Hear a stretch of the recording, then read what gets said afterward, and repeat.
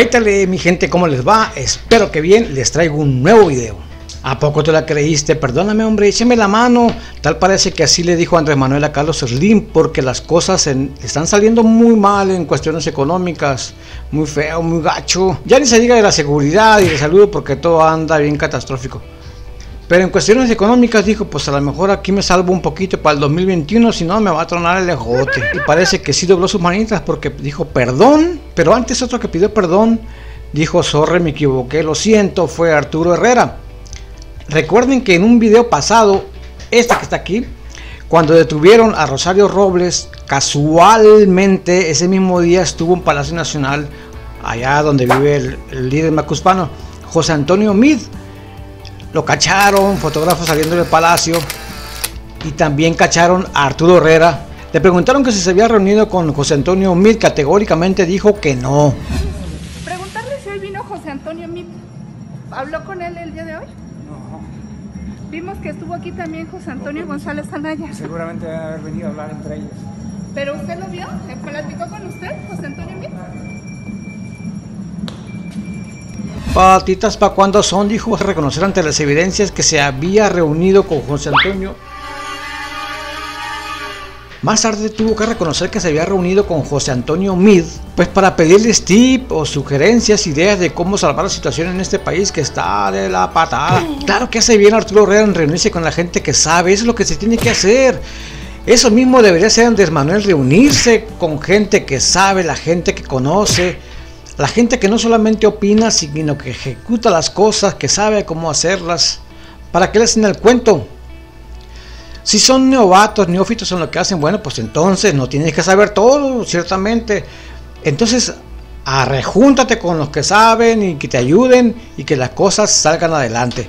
Nadie quiere que este país se vaya al traste, que todo se arregle, que haya medicinas, que haya seguridad, que haya economía, que haya bienestar para todos. Claro que todos queremos que se acabe la corrupción. Así que si no sabes cómo, pues entonces lo que hizo Arturo, lo que Arturo Herrera es correcto. Hay que reunirse, a traer a la gente que sabe, pedirle consejos, a ver cómo lo hiciste para este caso, cómo lo hiciste para el otro, cómo la ves con esta situación y pum para adelante. Lo he dicho antes, hay gente que es valiosa en el equipo de Andrés Manuel. El anterior secretario de Hacienda, Carlos Ursúa, también era un muy buen elemento, muy valioso, así como Arturo Herrera. Los demás son una bola de lambiscones que dicen es amarillo cuando es verde nada más porque Andrés Manuel les obliga a decir eso. En el video antepasado les presenté el asunto sobre el informe del primer, tercero, primero, bueno, como sea.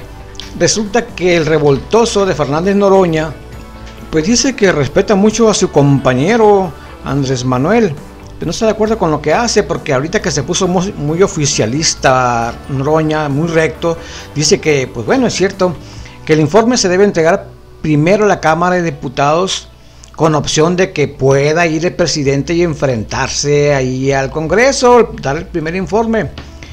Incluso elogió sin querer queriendo a Felipe Calderón y a Enrique Peña Nieto porque dijo que cuando menos esos presidentes sí esperaban hacerlo un día después, o sea, el día 2, porque el día primero es oficial, tienes que entregar por escrito a la Cámara de Diputados. Hay que recordar que este amigo tiene ínfulas y quiere aguas, quiere ser presidente para el 2024, se los ha puesto, ahí los voy a recordar después. Mucho cuidadito, no vuelvan a equivocarse.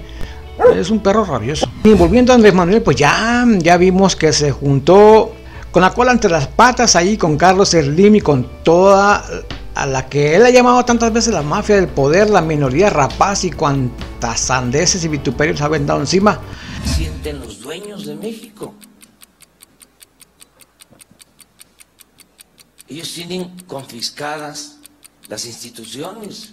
Esta minoría rapaz de un pequeño grupo que hace y deshace. Pues resulta que dice mi mamá que siempre sí. Así que el asunto de los gasoductos que tenía detenido, pues el gobierno de Andrés Manuel no dejaba operar ni terminar este trabajo a los empresarios. Entre esos está metido Carlos Slim.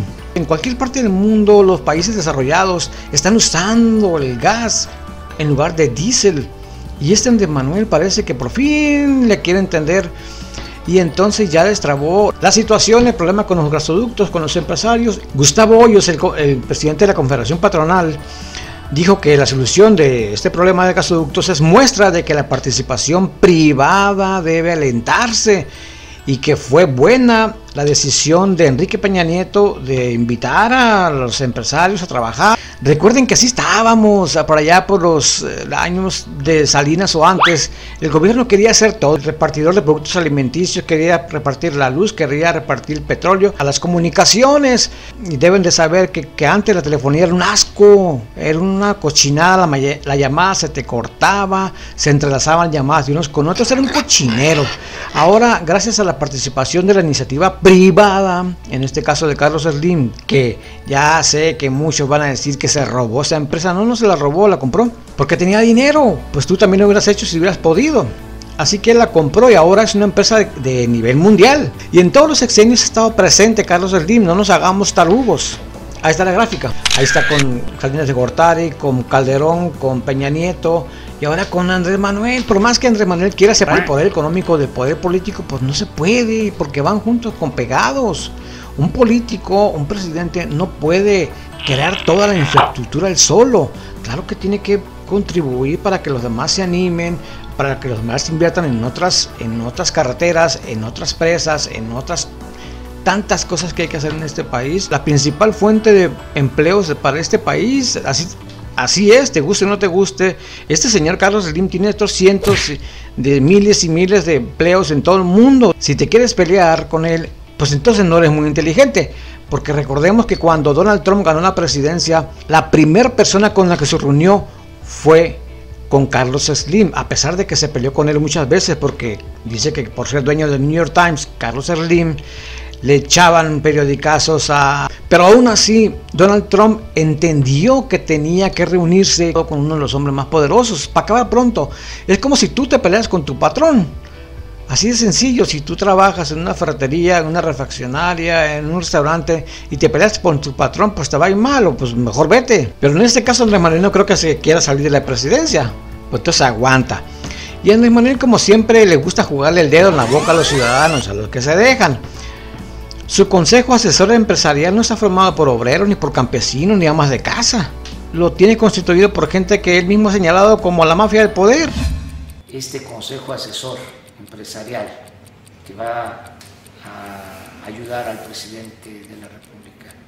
Ricardo Salinas Pliego, Bernardo Gómez, Olegario Vázquez Aldir, Carlos Jan González, Daniel Chávez, Miguel Rincón, Sergio Gutiérrez, Miguel Alemán Hijo. Así que pues le echa leña al sector empresarial, a los millonarios del país, pero por otro lado, pues les dice, hey, pues saben que ayúdenme.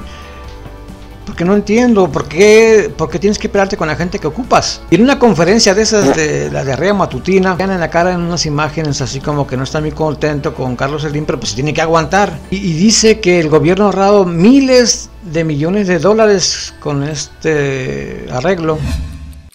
Como sabemos,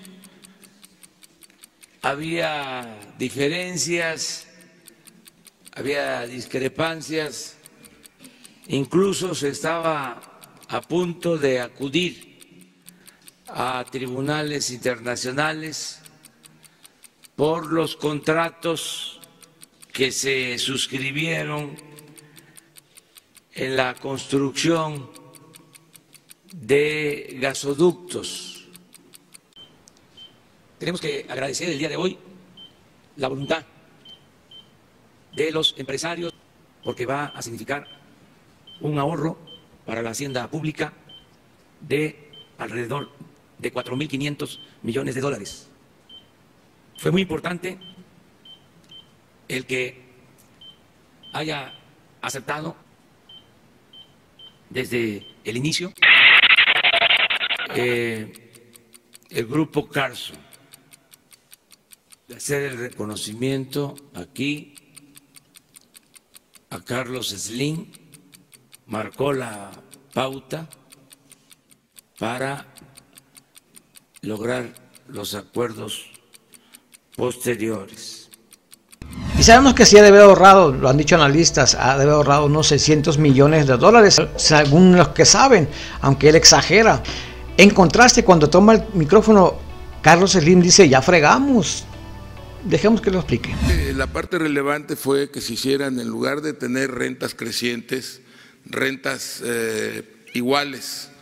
Eso, por un lado, ayuda a que la CFE pague un importe menor al final del día de, las rentas. Al haberse hecho la renta pareja a lo largo del plazo, nos permita financiar más proyectos, entrar en más proyectos, hacer mayores inversiones, los pagos van a ser mayores desde el principio y eso permitirá hacer mayores inversiones. La gran importancia de estos gasoductos, podemos acceder al gas más barato del mundo que se tiene en Texas, donde ya tenemos las conexiones, México tiene las interconexiones y los gasoductos para tener acceso a ese gas tan barato, el más barato del mundo, con mucho, y que permitirá al país hacer, eh, eh, eh, a través de estos gasoductos, poder hacer uso de un gas muy, muy económico, muy barato, que va a permitir sustituir el, el diésel y el combustóleo,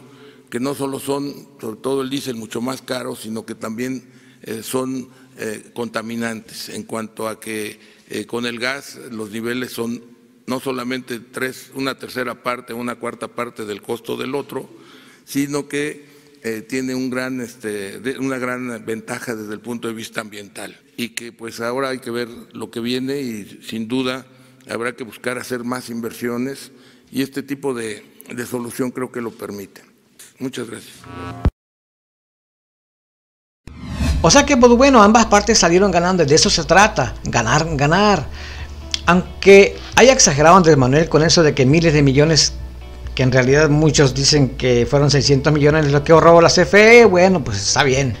Ojalá que esto detone, que otros empresarios comiencen a sacar sus chequeras porque ya estaban espantados con este gobierno. Entonces, ojalá que se detonen las inversiones para que por fin, aunque sea, lleguemos al 1% a finales de este año de crecimiento. Espera, te faltó hablar de Texcoco, lo que dijo Carlos de Texcoco. Sí, adelante. Perdón, ¿qué? Que se retomara Texcoco en lugar de Santa Lucía. Pues eso ya lo dirá el futuro, no sé. Pero eso no es, es uno de 1.600 proyectos. Claro, es un proyectote. A través de, de este aeropuerto, de este nuevo proyecto, va a haber o debe haber una gran transformación. Y yo creo que la discusión sobre el aeropuerto no debe ser si cuesta más o menos uno que otro, porque no es un coche el que se está comprando, no hay que ver no solamente la inversión que se va a hacer, sino qué efectos va a tener la inversión. Es lo único que yo podría comparar los efectos sobre un país, bueno, fue el canal de Panamá cuando se le devuelve a Panamá, ¿verdad? Es, un detonador como no se ha visto o no he visto yo nunca igual en una ciudad. Oigan, ¿y qué les parece la situación en la Cámara de Diputados? Que el señor Porfirio Muñoz Leo también, pues, eh, como ha escuchado asuntos de reelección, dice, pues yo también. La ley orgánica del Congreso determina que la presidencia de la Cámara de Diputados debe ser rotativa según el número de legisladores de cada partido, de los tres primeros partidos. Morena el primer año, el PAN debe presidirla el segundo año y el PRI el tercer año. Ah, pues no el señor dijo, pues ahorita antes de que pues, nos faltan cuarto para las 12, quiso reformar la ley para quedarse en la presidencia tres años, el señor. ¿Quién sabe si lo vive el pobre y se quiere quedar ahí? Se puso muy picudito y al fin de cuentas dijo, no, pues no tiene caso, mejor, mejor capaz de que aquí me patateo y, y me voy con toda la gente odiándome y se arrepintió. Señoras y señores, compañeros, he escuchado con cuidado a las oradoras y oradores durante estas horas y he reflexionado, vengo a anunciar mi retiro de la presidencia de la mesa directiva de la Cámara de Diputados. Sí.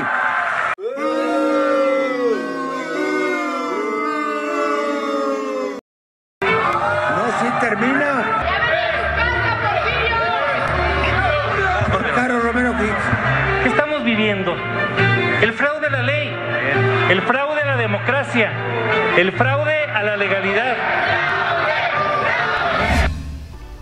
Por eso es que de arrepentidos está lleno el cielo. Y como estas trácalas, hay muchas ya de este morenos. Ya sucedió en Baja California, recuerden. Bonilla se eligió para dos años y después modificaron para que se quedara tres, tres cuatro años más. En Veracruz hay un rollo ahí. Destituyeron a Jorge Winkler como fiscal de Veracruz y bueno, se andan brincando las trancas, se armó la bronca. Ahí no paró la cosa, Morena quiere que por ley, si no has presentado tu declaración o pagado tus impuestos seas tratado como delincuente organizado. Prisión preventiva oficiosa. Ah, caray. O sea, vas a la cárcel mientras te investigo. O sea, el gobierno presume que eres delincuente y va para el bote. Lo único que lograrán con esto es ahuyentar inversiones de por sí. Llenar las cárceles de personas que le ponen ganas al trabajo, que contratan sus 2, 3, 4, 5, 10 empleados. ¿Habrá más desempleo?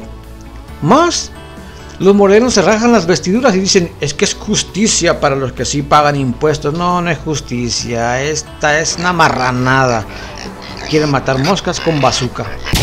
Y en todos estos casos Andrés Manuel hace como que la Virgen le habla y luego dice, pues yo no me meto. Pero lo hace para probar hasta dónde puede llegar, violando la ley. Es su única intención. Así como en el caso de Porfirio Muñoz Ledo, que vio que se le estaban poniendo los, camotes muy calientes, mandó a su secretaria de gobernación, Andrés Manuel, y le dijo, eh, bueno, aquí tenemos la llamada. Lo que ustedes están tratando de hacer, de cambiar la ley de un momento a otro. No puede ser así. El señor presidente, acabo de hablar con él y me dijo, nos está perjudicando mucho lo que está sucediendo en la Cámara de Diputados. Bueno, que no se mete, pues. Él dice que respeta la separación de poderes, ya sabemos que es mentira. Y luego dice que no se mete, pues ya sabemos que también eh, con esta llamada que es mentira. El presidente quiere ordenar a todo mundo. Amigos, hasta aquí el video del día de hoy. Espero que les haya gustado. Si fue así, por favor, regálenme un like, es gratuito y compártanlo en todas sus redes sociales con sus familiares y amigos. Y no olviden suscribirse si todavía no lo han hecho. Gracias por entrar a mi canal de Urgente TV. Mi nombre es Paco Man y nos vemos a la próxima. Chao, chao.